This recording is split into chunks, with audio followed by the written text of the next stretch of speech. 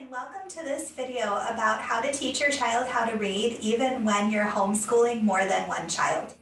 One of the biggest challenges and frustrations for parents that are trying to teach a child how to read can be what to do when you have more than one child in your house.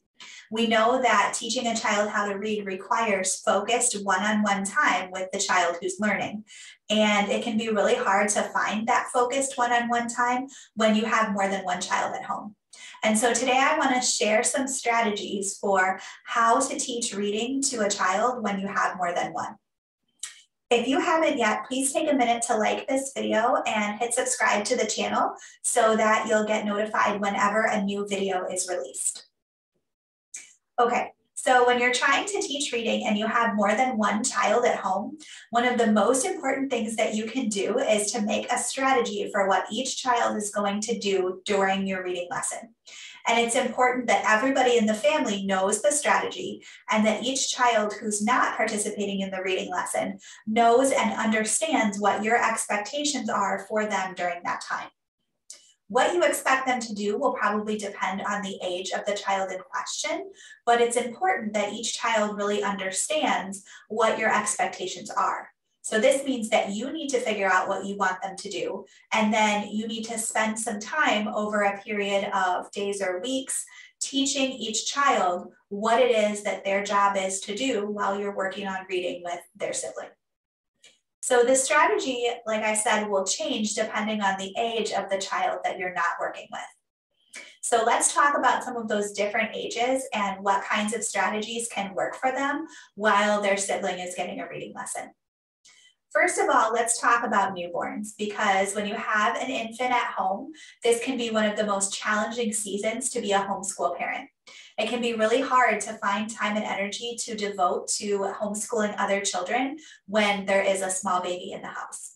So you really have a few different options of what you can do with the newborn while you're teaching a reading lesson to the older child.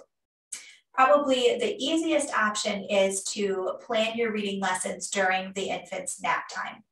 And this can be challenging to do because there are so many things that you could be doing with that nap time but choosing that time for a reading lesson will definitely be the least disruptive, most focused time that you could possibly have. Another option is to wear your newborn or your baby in a baby carrier or hold them in your lap while you're doing the reading lesson with their sibling. It's possible that your baby might really enjoy that and your older child might enjoy it as well. One of the really fun ways that you can motivate the older child is by asking them to read to their baby brother or sister as a part of their reading lesson.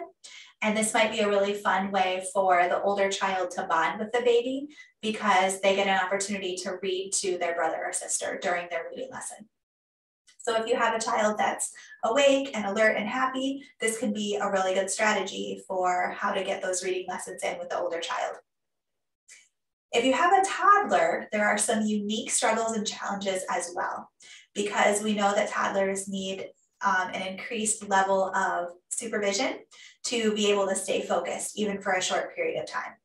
So with the toddler, one strategy that can really help is to have a special busy box of activities that are only available to them while you're teaching reading to their sibling.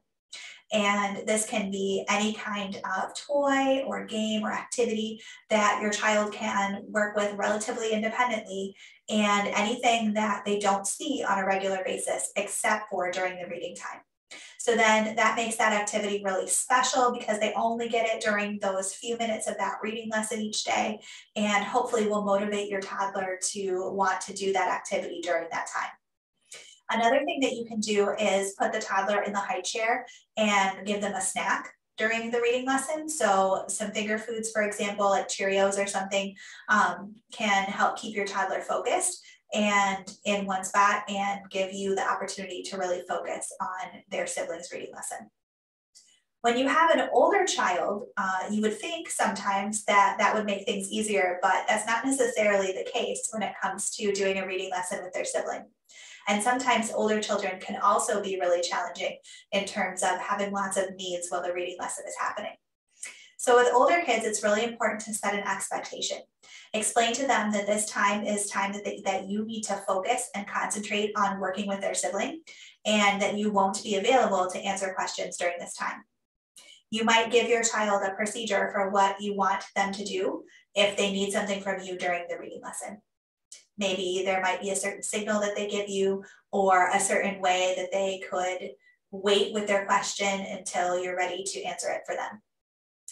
It can also be really helpful to give your older child some specific independent work that they can do during the reading lesson. You might have part of your homeschool curriculum that is a video, for example, and your child might be able to watch the video lesson while you do reading with their sibling.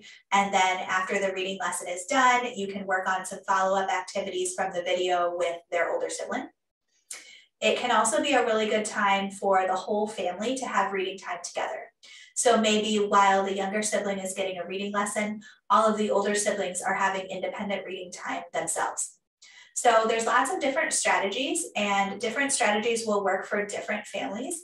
But the really important thing is to make sure that your kids are aware of what the expectations are and to set the expectations really clearly in the beginning so that your kids will understand exactly what you want them to be doing during reading time.